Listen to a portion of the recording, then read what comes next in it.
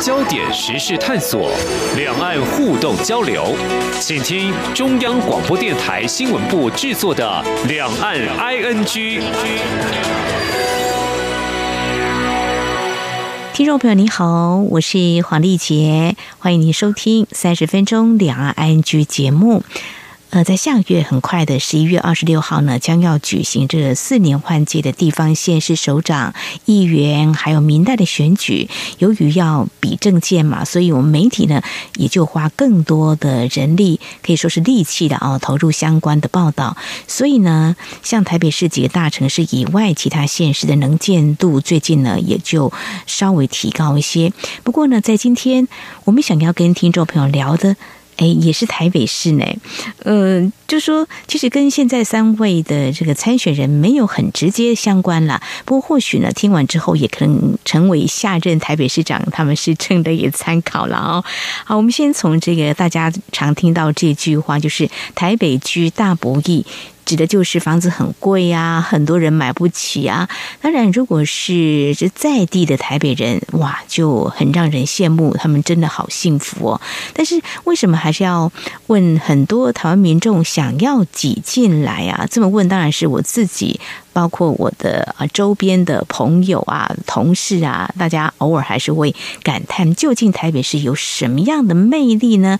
哎，这个它是一个呃政经中心嘛，哦，那么因为政府中央机关都在这里，我想这就像中国大陆北京市是一样的。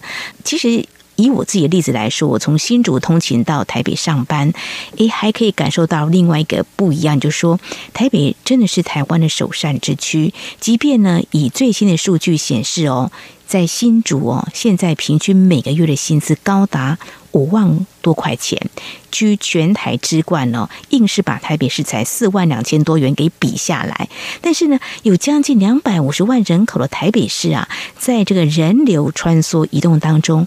或许我在想，应该是承载着许多人的梦想，是这样子吗？还是说他们为什么一定要在台北住下来呢？或是怎么样的方式住在台北市呢？我们接下来要请独立评论在天下频道总监廖云章来跟我们一起探讨。非常欢迎总监，你好。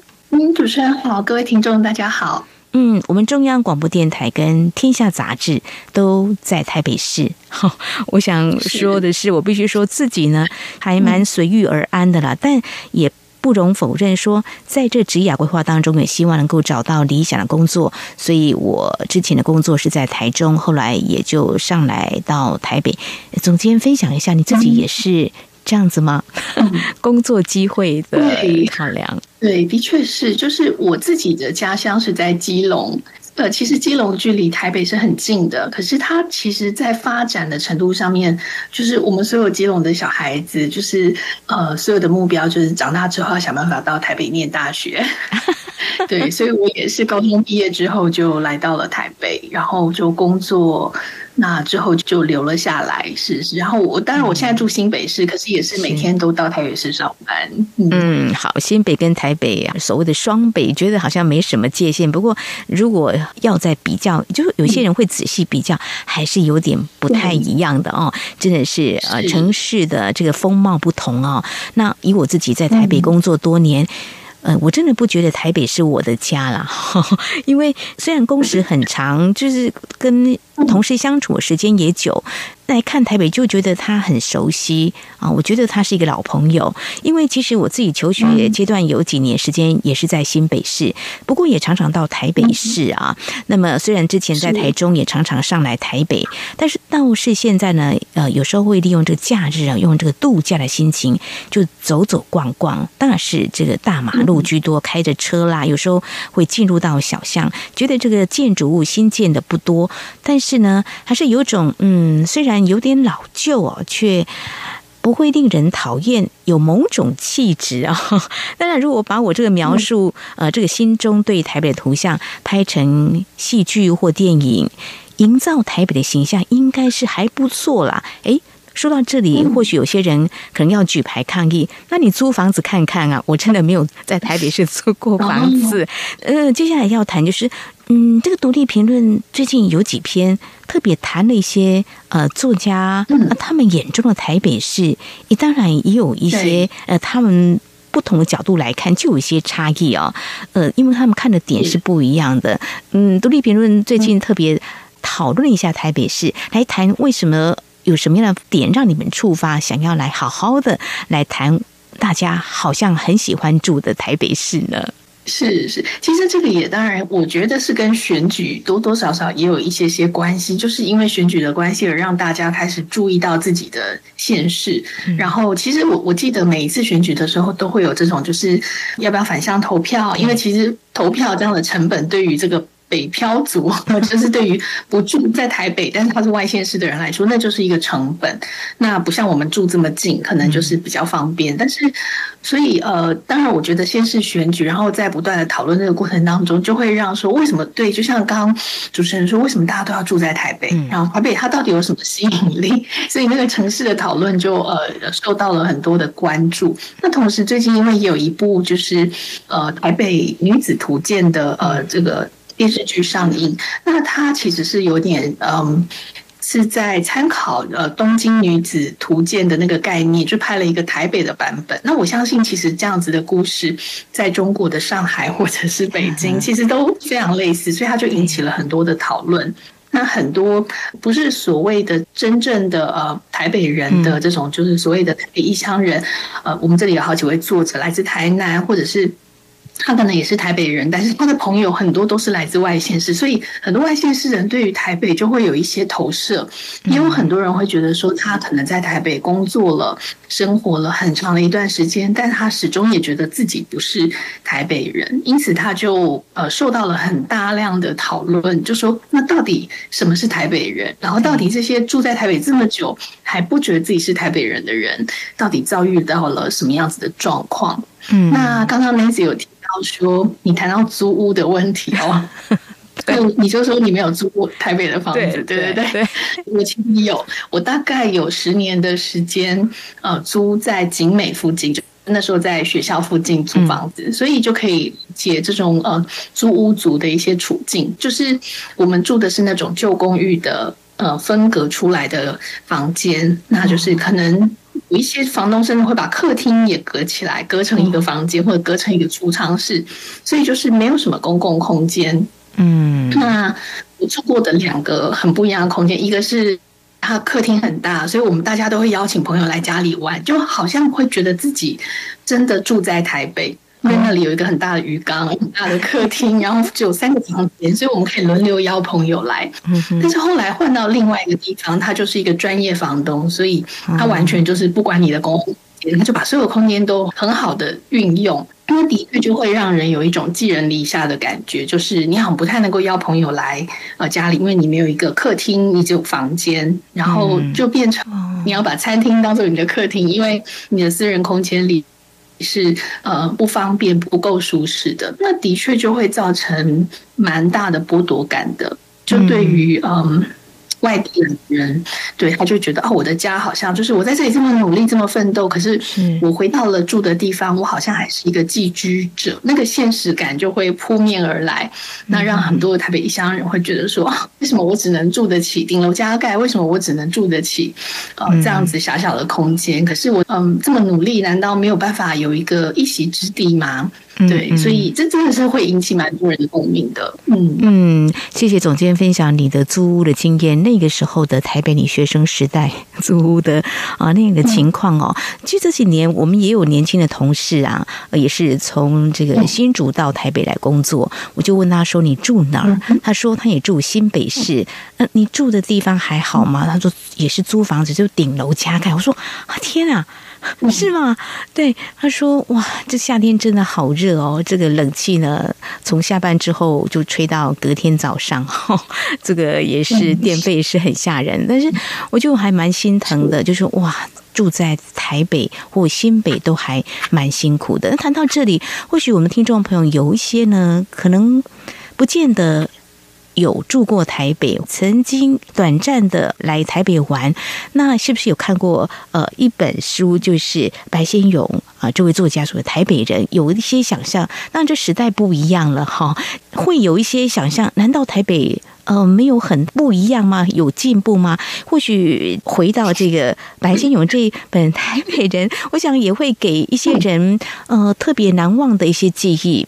的确是哦，哦，我记得呃白先勇先生的这本小说的呃这里面的故事，其实他写的大部分的台北人，嗯，都是来自就是在一九四九年之后拨迁来台的呃所谓的外省人，其实就是台湾的呃应该说是嗯最早呃。台湾呃，二战之后的新住民就是跟着政府拨迁来台的，嗯，的所谓的外省人。那现在其实也都是台湾人，可是那个时候他们呃，大部分人是。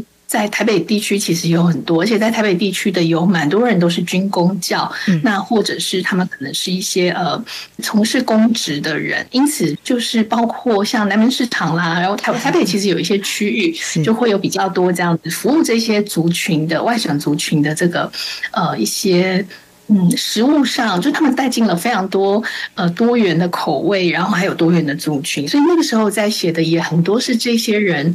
嗯，在怀乡的这些故事，嗯哼，对，因为呃，像我自己的公公婆婆也是呃来自上海的家庭，我公公是来自上海，但他来的时候年纪还非常小。那我的婆婆是台湾出生的上海人，但是呃，在家里，我结婚之后就发现，天哪，就我好像进入了另外一个。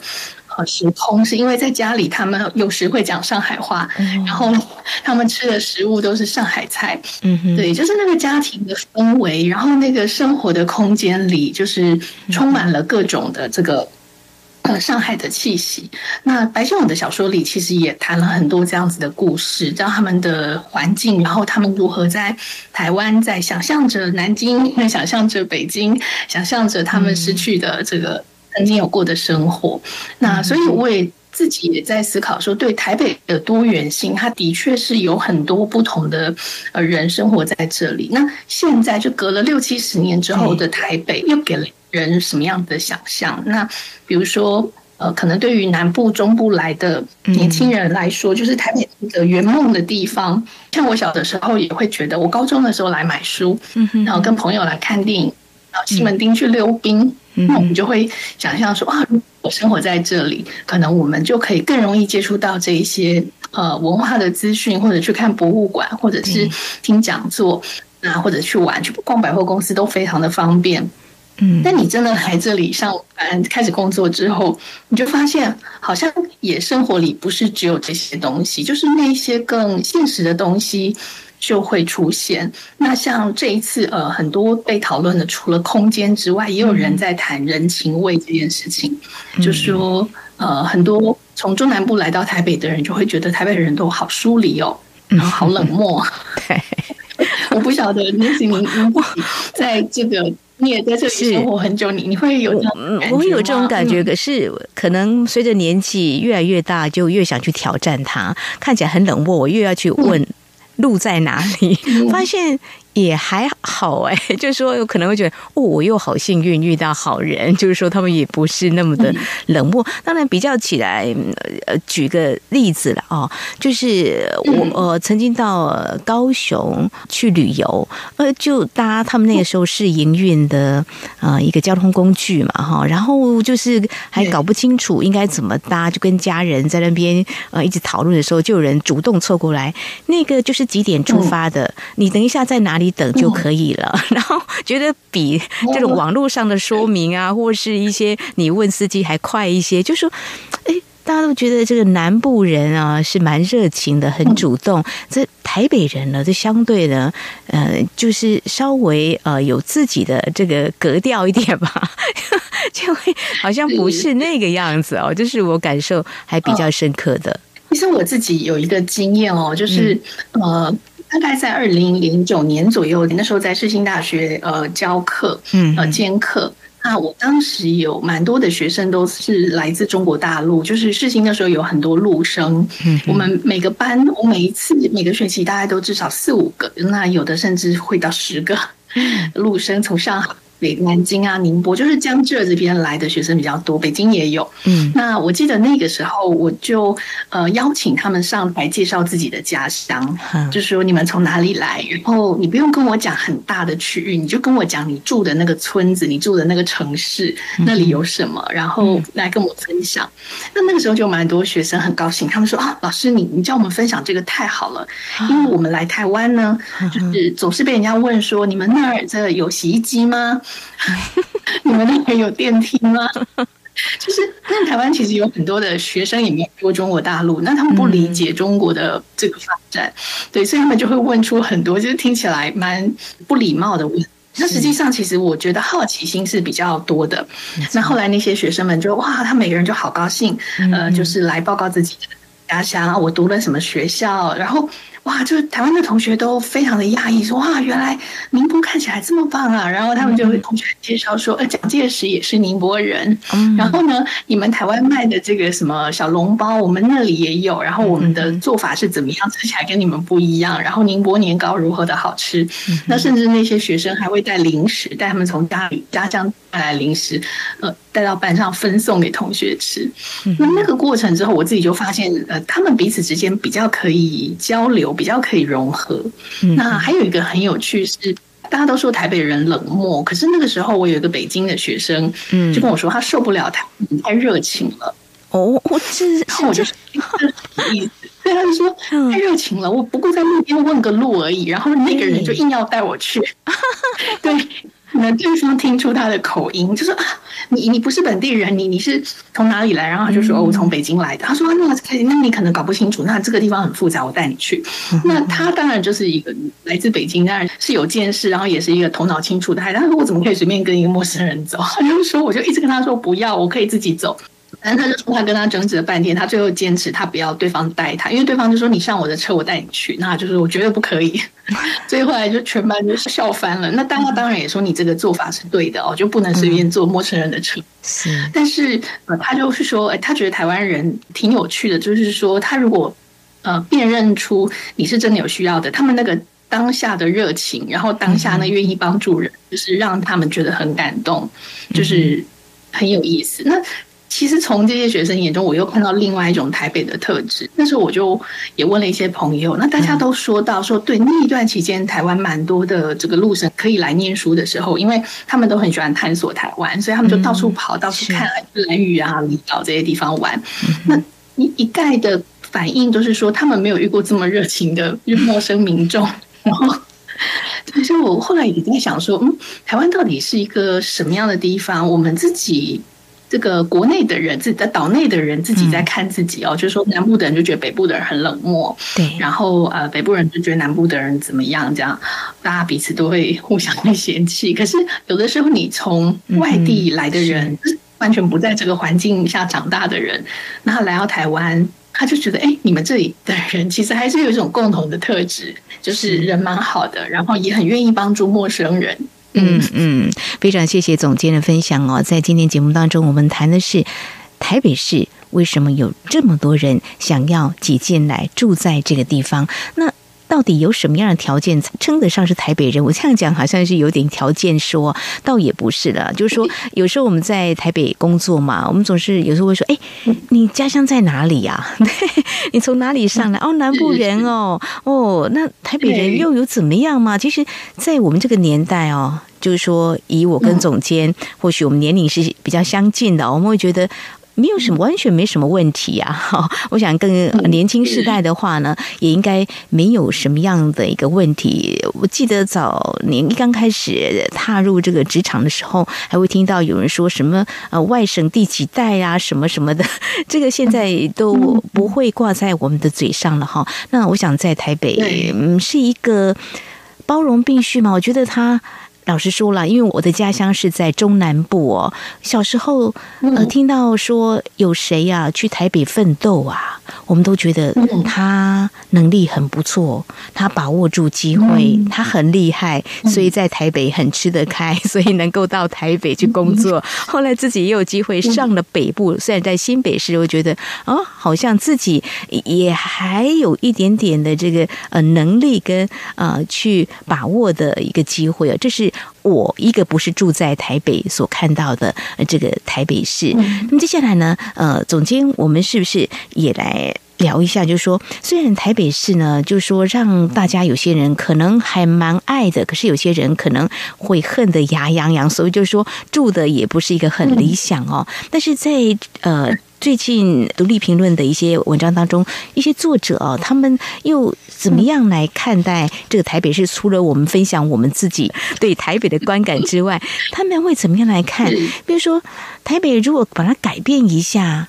但是好像也不容易改变，比如说，呃，这个所谓的政经中心、政治的这个要移到中南部也不太可行吧？但是是不是有一些民众也是期待，或许台北有这样的改变，应该也不坏呢？是，呃，我们这边有一位呃作者哦，李律，其实他就是在写了这样子的一个，就是他自己身为台北人，但是他自己身边有很多来自中南部的朋友，那包括他后来提到他的女朋友就是来自中南部，那在住在台北的。就不断的抱怨说，哦，台北为什么是这样子的一个，就是住的很不好，然后当然物价它可能也相对比较高，所以各种条件会让北漂比较没有社会网络、没有家庭支持的呃年轻人就会觉得在这里很被挤压。可是大家又想要呃待在这里，但是同时又觉得说啊这个地方又很小又很小，然后人又很小气，然后 呃房屋又很老旧，所以他就呃。再说对啊，但是台北之所以会成为台北，当然它是有它的一些条件，嗯，所以他也在思考，他就提出了一些建议啦，就说那有没有可能，就是我们可以把一些功能不同的功能分散到其他的城市，嗯，而不是把所有的资源全部都聚集在台北。同时，因为它有太多的这个呃功能，它有政治经济，然后社会面，然后甚至译文资源、媒体资源，通通在。台北的时候，它变得很难改变，因为所有的事情就是一关卡一关。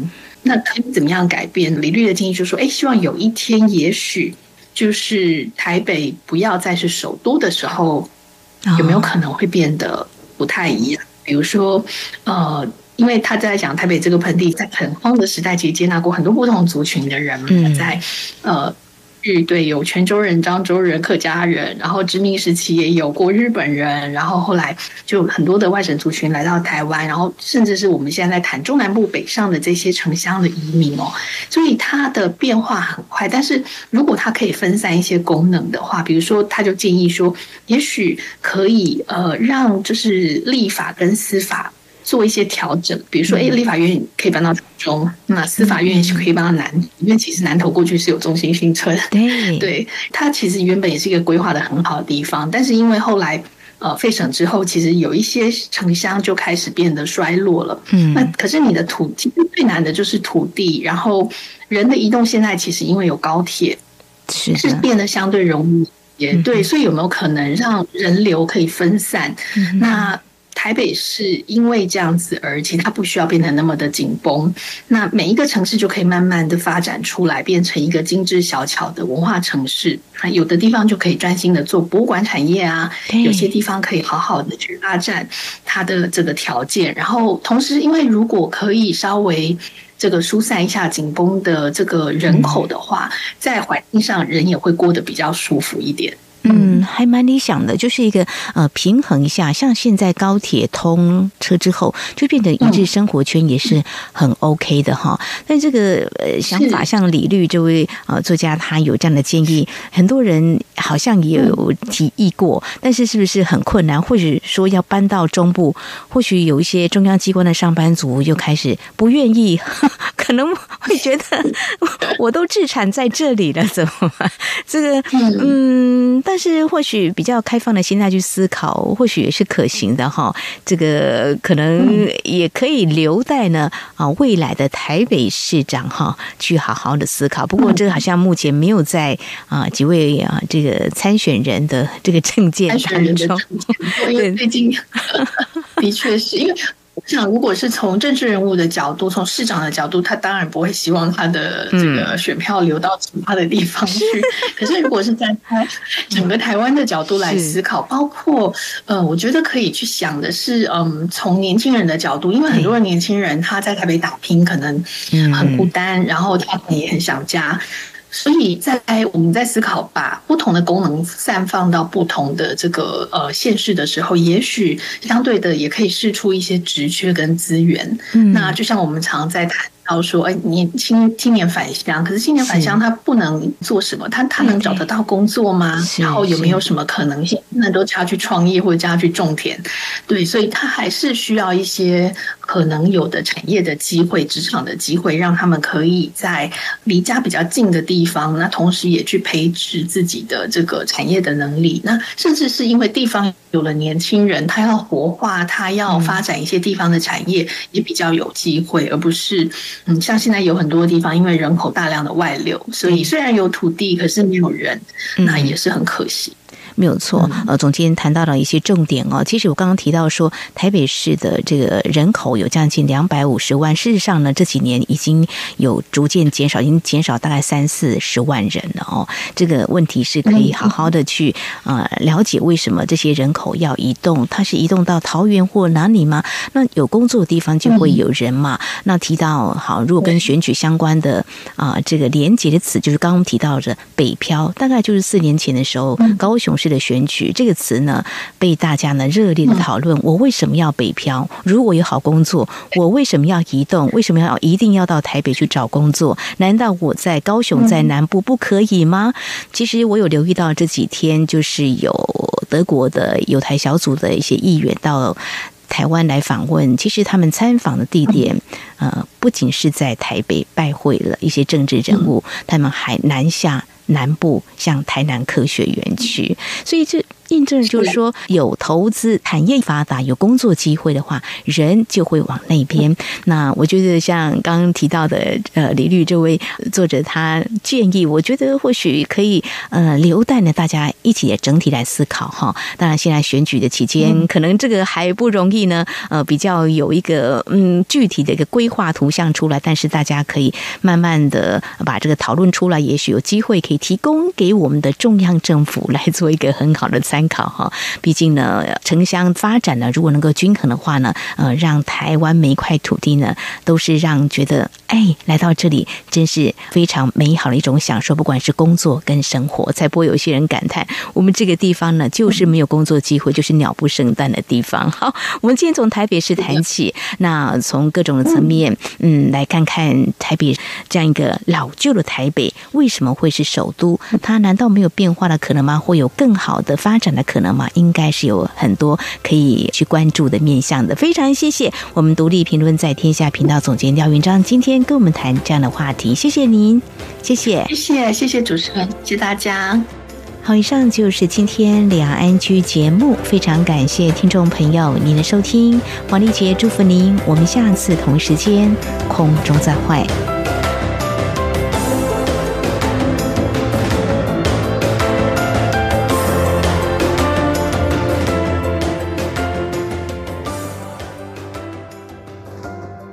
大家好，我是机关署防疫医师詹佩君。大部分的 COVID-19 感染者症状轻微，休养后可自行康复。居家照护期间多喝水，充分休息，并留意自身症状变化。如果出现喘或呼吸困难等警示症状，请立即联系一一九或依卫生局指示，以防疫车队同住亲友接送或自行前往就医，保护彼此。疫苗打三剂，一起做防疫。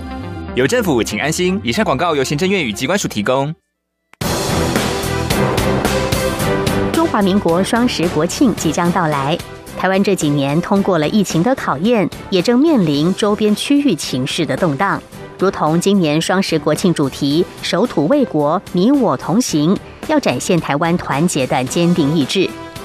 中央广播电台邀请您一同参与今年的双十国庆，将为全球听友与网友影音实况转播国庆大会。包括今年的蔡总统国庆演说重点，还有各项精彩的表演节目。十月十号星期一上午九点到十一点三十分，华语的听众朋友可以使用六个中短波频率，还有央广网站以及脸书粉专 RTI 中央广播电台 YouTube 频道同步收看双十国庆大会的实况。广播听友请锁定中波一五五七千赫。短波九六七零千赫，九七九零千赫，一二零六五千赫、一五三零零千赫以及一五四六零千赫收听。影音直播，请锁定央广网站 triple w 点 r t i 点 o r g 点 t w，以及脸书粉专 r t i 中央广播电台收看。十月十号上午九点，让我们一同庆祝中华民国一百一十一岁的生日。